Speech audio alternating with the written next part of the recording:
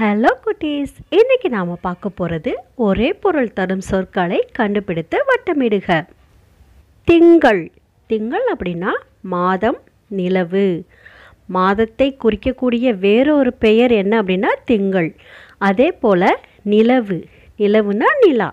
நிலாவை குறிக்கக்கூடிய வேறொரு பொருள் திங்கள். கதிரவன் ஆதவன் அப்படின்னா சூரியனை குறிக்கும்.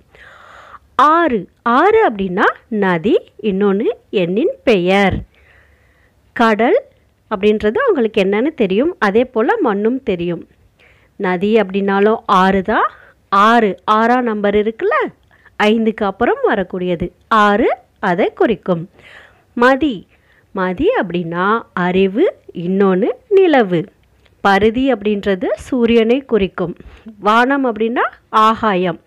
அப்போது மதி அப்படின்றது எதை குறிக்குது? அறிவு நிலவு. வேழம். வேழம் அப்படின்னா யானை மூங்கில குறிக்குது.